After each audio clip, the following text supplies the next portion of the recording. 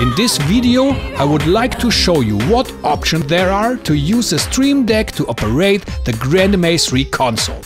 All functions works completely without a macro or plugin and can therefore be used directly in every show file.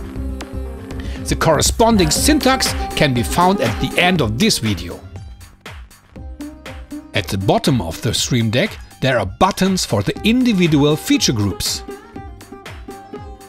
These keys are indispensable for pre-programming only on the laptop.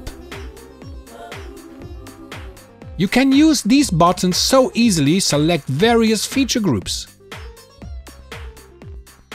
In connections with the dynamic preset pool, the connected preset pool is always displayed.